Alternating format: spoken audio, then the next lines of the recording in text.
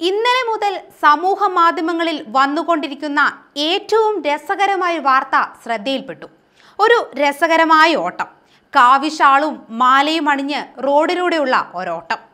Video സൂക്ഷിച്ചു നോക്കിയാൽ അത് പുറത്തു നിന്നുള്ള ആരുടെയും ഓട്ടമല്ല മറിച്ച് ഒരു മന്ത്രിയുടേതാണ്. ഇതിനു പിന്നിലെ കാരണമൊന്ന് അന്വേഷിച്ചപ്പോഴാണ് അതിലേറെ രസം. തിരഞ്ഞെടുപ്പ് പത്രിക സമർപ്പിക്കാനുള്ള തിടുക്കത്തിലാണ് മന്ത്രി ഇങ്ങനെ ചുറ്റും നോക്കാതെ ഓടുന്നത്. ഇതിനോടകം തന്നെ മന്ത്രിയുടെ ഈ ഓട്ടം വൈറലായി മാറിയിരിക്കുകയാണ്. കൂടാതെ മന്ത്രിയുടെ ഓട്ടം കാഴ്ചക്കാരിലും ചിരി ഉണർത്തിയെന്നാണ് സോഷ്യൽ മീഡിയയിലെ പരക്കെയുള്ള സംസാരം. കായിക മന്ത്രി ആയതുകൊണ്ടായിരിക്കാം ഇത്ര തിടുക്കത്തിൽ ഓടുന്നത് എന്ന പരിഹാസ കമന്റും പോസ്റ്റിന് പിന്നാലെ വരുന്നുണ്ട്. ഉത്തർപ്രദേശ് കായിക മന്ത്രി ഉപേന്ദ്ര തിവാരിയാണ് പത്രിക സമർപ്പിക്കാനായി റിട്ടേണിംഗ് ഓഫീസർക്ക് മുന്നിലേക്ക് ഓടിയെത്തിയത്. വെള്ളിയാഴ്ചയായിരുന്നു കായിക മന്ത്രിയുടെ രസകരമായ ഓട്ടം.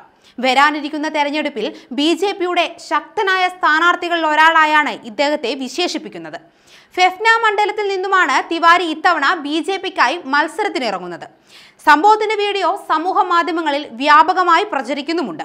എന്നാൽ പത്രിക സമർപ്പിക്കേണ്ട അവസാന തീയതി ഫെബ്രുവരി പതിനൊന്നാണ് എന്നിരിക്കെയാണ് ഫെഫ്ന മണ്ഡലത്തിൽ ഇത്തരത്തിലൊരു വേറിട്ട കാഴ്ചയ്ക്ക് ജനം സാക്ഷ്യം വഹിച്ചത്.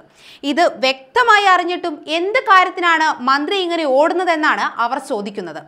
തിവാരിക്കൊപ്പം അദ്ദേഹത്തിന്റെ സുരക്ഷാ ഉദ്യോഗസ്ഥരും ഓടുന്നതും വീഡിയോയിൽ വ്യക്തമായി കാണാം. നാനൂറ്റി മൂന്നംഗ നിയമസഭയിലേക്ക് ഫെബ്രുവരി പത്ത് പതിനാല് ഇരുപത് ഇരുപത്തിമൂന്ന് ഇരുപത്തിയേഴ് മാർച്ച് മൂന്ന് ഏഴ് തീയതികളിലായി ഏഴ് ഘട്ടങ്ങളിലായാണ് ഉത്തർപ്രദേശിൽ തെരഞ്ഞെടുപ്പ് നടക്കുന്നത്. മാർച്ച് പത്തിനാണ് വോട്ടെണ്ണൽ.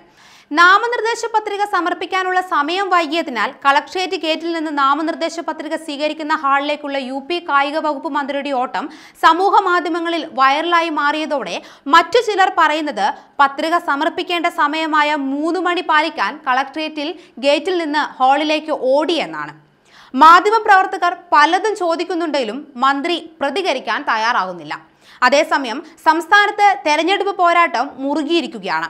അവസാന ലാപ്പിൽ എസ് പിയും ബി ജെ പിയും കടുത്ത പോരാട്ടത്തിലാണ്. ബാക്കിയുള്ള പാർട്ടികളെല്ലാം പിന്നിലാണ്. തനിക്ക് മുസ്ലിങ്ങളുമായി പ്രശ്നമില്ലെന്ന് മുഖ്യമന്ത്രി യോഗി ആദിത്യനാഥ് പറയുന്നു. എല്ലാവരുടെയും വികസനമാണ് തന്റെ സർക്കാരിന്റെ ലക്ഷ്യം. എന്റെ മന്ത്രിസഭയിൽ മുസ്ലിം മന്ത്രിമാരുണ്ട്. ആരിഫ് മുഹമ്മദ് ഖാൻ കേരളത്തിന്റെ ഗവർണറാണ്. ഞങ്ങൾ ആളുകളെ നോക്കിയല്ല പ്രവർത്തിക്കുന്നത്.